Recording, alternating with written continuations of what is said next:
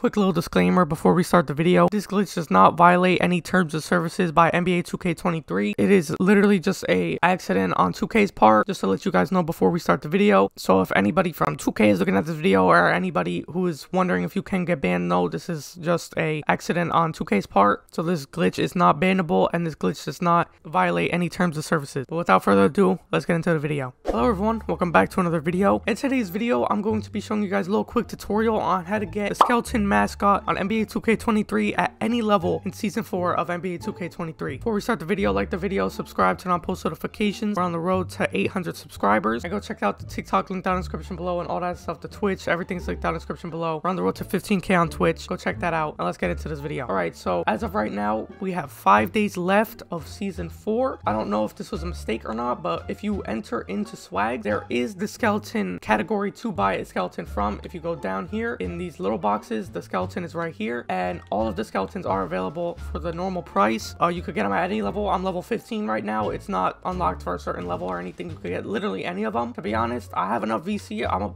I'm gonna buy this blue one right here, right there. I'm, I'm, gonna show you guys that it works as well. If you go over to the mascots, it's right there, and boom, it, it works. It's I don't I don't think this is a uh, a glitch that was meant to be, but you know, I mean, Ronnie brought him back to the shop. Honestly, if you guys want a skeleton and you never got it from the uh, season three, I think it was. I don't know the season season two. I'm not sure if you guys never got it from there. If you want it, buy it. It's not gonna hurt. If you have the VC and you want it, don't get it in the shop. Also, this is not a glitch to get you banned or anything. If you guys were wondering, it's literally just something that they brought back into swags. I don't know if it's bad that they brought it out to shop because people got to like level 30, 40, whatever they were to get it. And now people are just getting it from swags. So I'm not sure if it's a good thing or not. But if you guys do want it, go to swags right now. They're available. I don't know if this is to get patched soon. So if it does get patched and it's not in the shop or you can't buy them in the shop anymore, I'm sorry you guys came a little too late. But if you guys are watching this video when it comes out on Saturday, uh, they're in the shop today. So, you know, if, if they're still in the shop for you guys, check them out. If you want one, go buy one. Yeah, thank you guys for watching today's video. I just wanted to do a quick little tutorial on how to get it because I saw it in the shop. I just want to let you guys know. Make sure you like the video, subscribe, turn on post notifications. We're on the road to 800 subscribers,